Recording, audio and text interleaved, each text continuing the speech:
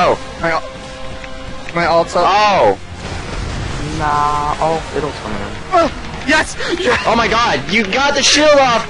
The champion shield right there! What? How did that? I quit! What?